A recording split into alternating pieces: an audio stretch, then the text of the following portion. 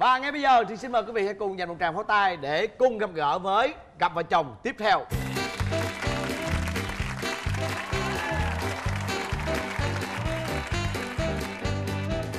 chào tụi em.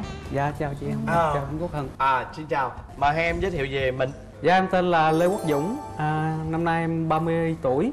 À, Hiện là chuyên viên nhà nước. Còn em, Em tên là Bùi Thị Nhi, năm nay em 25 tuổi, hiện đang là ờ, cũng công chức nhà nước. à, Nhiên với Dũng là quen nhau trong trường hợp nào? Cách đây khoảng hơn 10 năm rồi Trời. Lúc đó thì em 20 tuổi, vợ em thì mới 15 tuổi à Vợ mới 15 tuổi thôi à. Dạ Tình cờ trong cái à, dịp tập văn nghệ của phường á Em thì à, tập hát, còn vợ em tập múa Vô tập thì thấy à, cái cô này đứng ở giữa nữa Mà rất là xinh Cho nên là mình cũng có cảm tình Khi mà tập xong á à, mới lại làm quen Hỏi à, em tên gì, có cần anh đưa về không Ừ. à, Vợ em cũng đớp chát dữ lắm Đớp chát làm sao đâu? Ờ, anh thích đưa về thì tí nữa em tập xong anh đưa Đành về. đá lắm Với lại hỏi à, xong thì mình biết là nhỏ tuổi rồi thì mình mới hỏi là em ơi có cần anh bỏ gạo để nuôi em không lúc đó là anh muốn thì cứ đem vô nhà em lúc mà bóp chát vậy chứ trong lòng là có cảm thấy cảm mến không Dạ không, lúc đầu em thấy anh bận đồ nhìn cũng lúa lúa chỉ được có cái mặt mà bảnh bảnh thì thì nhìn cũng hơi có cảm tình vậy thôi chị chứ À. chưa có ý định gì đâu. Rồi đến bao lâu thì bắt đầu mới à, quyết định tỏ tình và chiếm lấy được trái tim của người đẹp này? Dạ,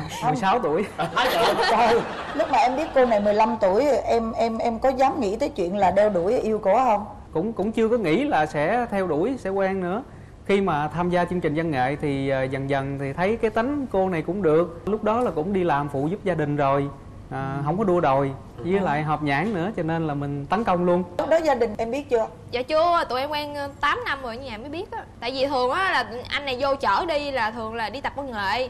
Rồi ở nhà cứ tưởng là anh này làm ở ngoài phường nhưng mà thực chất là anh này tập trung chứ anh này chưa có làm ở ngoài phường. 8 năm gia đình mới biết nhưng mà bác sĩ có biết không? Dạ, chưa. không. Phải hỏi như vậy Tại vì từ trẻ con bắt đầu bắt đầu đến cái giai đoạn chuyển đổi đó Từ trẻ con nó qua tới người lớn Mà người lớn thì Em hiểu bao không? giờ Em Dạ, hiểu không? hiểu. Em hiểu không? Dạ. Sao hay vậy sao chị không hiểu vậy Chậm quá chứ Chị giả bộ không hiểu á. Khờ quá chứ không biết nữa thiệt à đương chuyện này có một chuyện nó đang hết sức là bồng bềnh hiểu không nó làm cái phọt một cái vô tuốt trong địa ngục luôn có nghĩa là ảnh muốn hỏi là vậy đó mà khẳng định là không không không vậy đúng không Thôi bây giờ em theo như em nói là rất là xinh đẹp Vậy thì chắc chắn anh này rất là ghen đúng không? Anh ít ghen lắm anh ngộ lắm mà ngược lại em ghen không à. dạ Dạ, ghen dữ lắm. Rồi lúc lấy rồi cũng vậy. Cũng vậy luôn cũng ghen dữ lắm. Coi như thủy chung như một đó. Cái lần ghê nhất là lần nào? là lúc đó là vợ em ờ, đi ờ, Đà Lạt á. Ờ. thì em ở nhà thì cũng ờ, có cái người bạn đó cũng sinh hoạt chung trong đoàn á. Ừ. cũng quen biết làm quen rồi xin số điện thoại rủ đi uống nước. Chỉ đi có một lần à xong rồi về. À, sau một thời gian á thì à, vô tình á cái người đó lại nhắn tin cho em lúc đó thì vợ em à, kế bên nó mới nhìn qua liếc qua nhìn cái số điện thoại Nhớ. nhớ nhớ số rồi lúc đó đó xong rồi về nhà bắt đầu mới điện nhắn tin với lại cái người đó người đó em nhắn cái gì Cái nội dung là nhắn là ủa bạn là ai? Bạn có biết là cái người đó đã có bạn gái hay chưa mà sao bạn muốn xen vào hạnh phúc của người khác? Ờ, bạn như vậy là con người không có đàng hoàng. Nói chung là cũng sử dụng những cái từ mà tại vì mình tức lên rồi mà. Trời đâu có điểm kiềm chế được. có con này con kia nữa là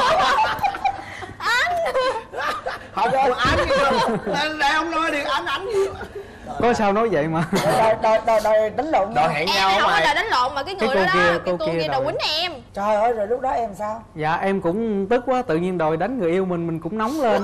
Em nói ờ, nếu mà người yêu anh á có làm cái gì mà nói gì á xúc phạm tới em thì anh thay mặt cho người yêu anh. Xin lỗi em. Ờ. còn nếu như mà em mà đụng tới người yêu anh là anh không có bỏ qua đâu á. Hay rồi sao? rồi, giờ- rồi rồi cái cô đó làm sao? Từ đó là cũng như cắt đứt quan hệ luôn. Nhưng mà chị hỏi nè có nghĩa là lúc mà em lấy chồng em rồi á Dạ. mà em vẫn còn ghen. Mà ghen là ghen cái gì? Từ lúc lấy tới giờ thì ờ, chưa có cơn ghen nào mà thịnh nộ hết. Vậy như mình đề phòng thôi, thấy ảnh nhắn tin với cô nào là phải vô kiểm tra trước. và Hỏi lúc nào về là điện thoại của em là vợ em cũng giật lấy. Rồi kiểm tra tin nhắn kiểm tra số điện thoại. Kể cả ờ, tài khoản facebook hay là gmail gì đó là cũng quản lý hết. Facebook của mình mà vô là tự nhiên đổi mật khẩu luôn. Tới chừng em đăng nhập vô facebook không được cũng nghi nghi là vợ thế nào cũng đổi Bây giờ còn không? Bây giờ. Dạ còn luôn. Anh biết sao mà em phải đổi mật khẩu không? Tại vì thường là mật khẩu đó thì ảnh sử dụng là số điện thoại của ảnh Ờ, với lại tên của ảnh thì em biết em vô cái tự nhiên cái lần đó vô là không được. Cái hỏi ảnh mật khẩu mới thì ảnh lại nói cái tên của một người con gái khác.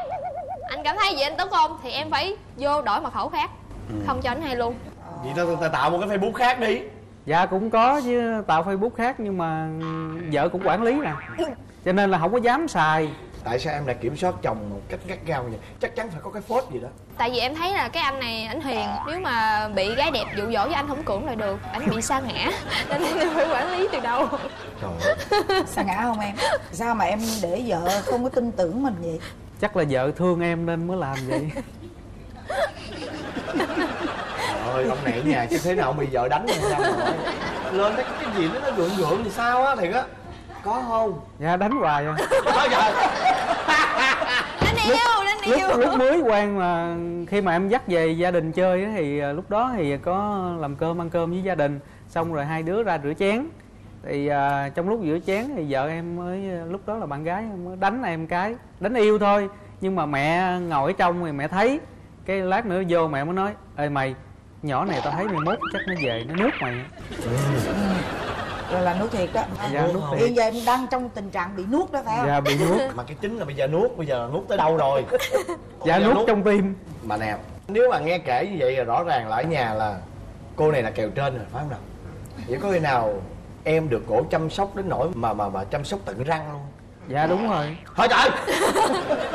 Vậy vậy vậy có khi nào mà chăm sóc tới tận râu luôn không? Dạ có luôn. Trời ơi ra nhổ râu á có. Dạ. Có ra nhổ râu luôn. Bắt bắt khi bắt phải cạo râu mỗi ngày. Bắt cạo râu dạ em thì em ờ, không thích tại vì da mình mà cạo riết nó mòn. Trời ơi. À, dạ. Rồi cho nên là mình cũng phải để nó dài dài chút xíu rồi mình cạo một lần. Vậy bạn anh khuyên em em đừng bao giờ cắt tóc hết nha. Dạ. cắt riết em mòn y chang anh luôn á. Rồi có khi nào em đánh răng cho chồng em không? Không có đánh răng nhưng mà nặng Bắt. em để sẵn bắt tối khi ngủ là phải đánh. Mà có mấy ngày làm biến là trốn lên không đánh rồi vợ em có bắt em làm cái gì nữa không? Kêu làm đủ thứ hết à. Mà chồng mà không làm á là giận là chiến tranh lạnh. Là nhiều lúc ờ, khóc nữa. Thấy vợ khóc là chịu không có được. Thì em phải xuống nước năn nỉ rồi em làm để cho vợ em vui lòng. Ừ.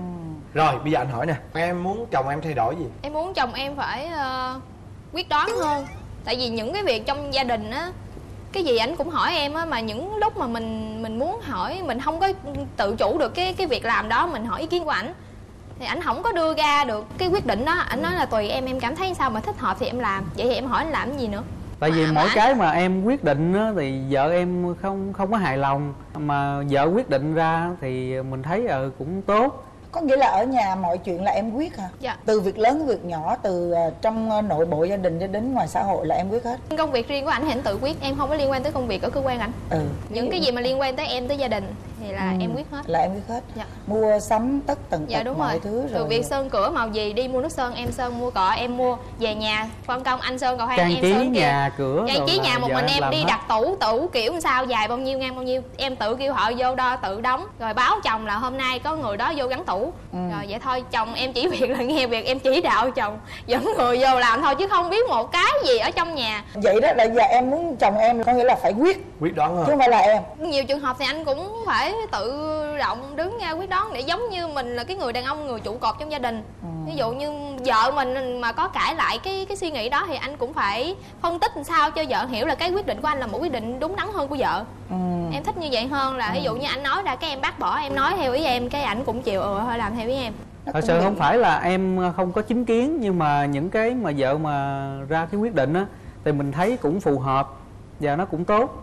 Nên em mới chấp nhận. Nếu như mà có những cái gì sai thì em cũng sẽ cản. Nãy giờ em nói đó cản xong rồi giờ em bẻ lại cái cái em thấy ok rồi đó rồi dạ cũng thì nói xong. chung là mình à, cản nói cái đó ờ, thôi không được. Nói vợ ờ, nó em thấy được làm được nó vậy vậy em làm đi.